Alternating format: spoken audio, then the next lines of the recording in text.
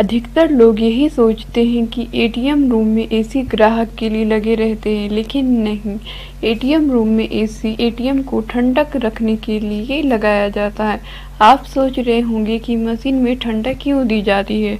जैसा कि हम सब जानते हैं कि एटीएम मशीन में जो इंटीग्रेटेड कंप्यूटर ट्रांजेक्शन प्रोसेसेस के लिए लगा होता है 24 घंटे एटीएम मशीन चलते रहती है। लगातार काम करने के कारण कंप्यूटर में लगी माइक्रो प्रोसेसर और अन्य उपकरण ज़्यादा ताप झेल नहीं पाते हैं और ख़राब हो सकते हैं, जिसके कारण हैंग होने की संभावना हमेशा बनी रहती है।